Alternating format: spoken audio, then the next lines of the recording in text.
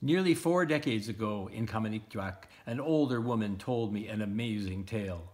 Fascinated as I was at the time, I had almost no understanding of the cultural backdrop to her story, nor did I know that I'd be spending much of my life recording oral histories from Inuit elders. Fortunately, I wrote it all down in detail later that evening, back in my tent. All I could do, as Iquginnaq actually spoke, was listen with rapt attention while sitting at the kitchen table of a new friend who translated for me. I remember the scene well, including the strong, sweet tea and Joan's homemade pineapple upside down cake. Iquginnaq passed away in 2009 at age 97. Publishing her unadorned story now is my way to say thank you for this gift and acknowledge her contribution to launching my career while celebrating her remarkable life. Hers was the first story I documented for posterity, Many others followed.